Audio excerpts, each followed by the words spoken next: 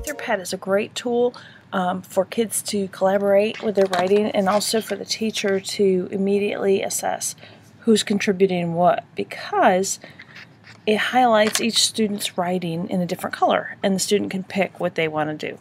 Um, you as the teacher don't have to even have an account or sign in and students don't either so it's really awesome.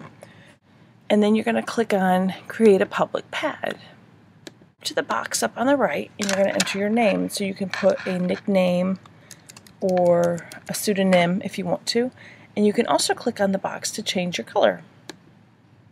So I'm going to have Steve be green.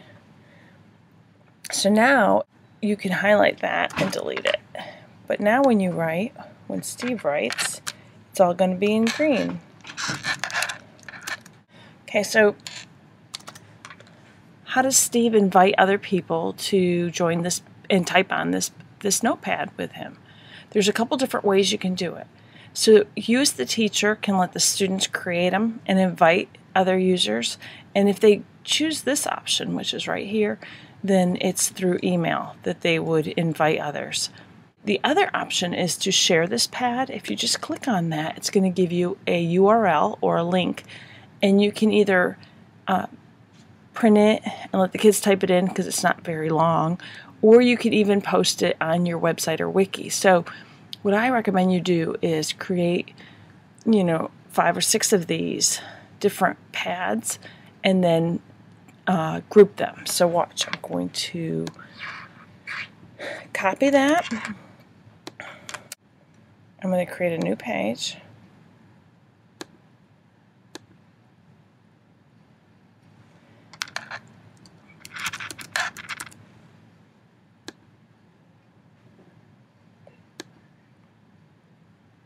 I'm going to edit my page and I'm just going to write group 1 and put the link there. Okay, or I could even hyperlink it, save it. And so that's how you would set up uh, the pages for your students.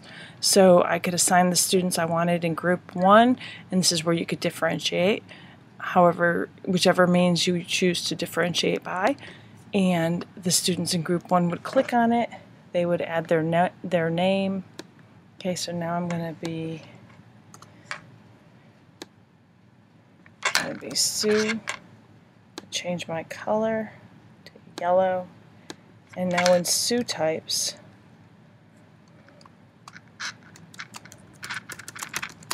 Oh, I forgot to save it. There we go.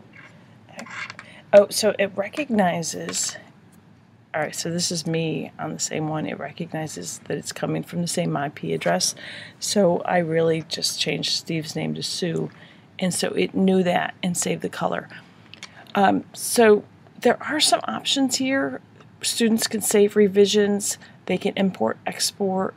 So there are some options up here at the top. Um, and you can explore these. But there's different ways you can export your notepad.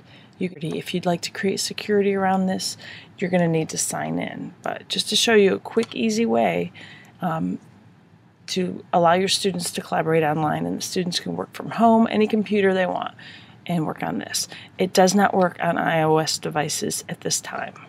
Okay, thank you.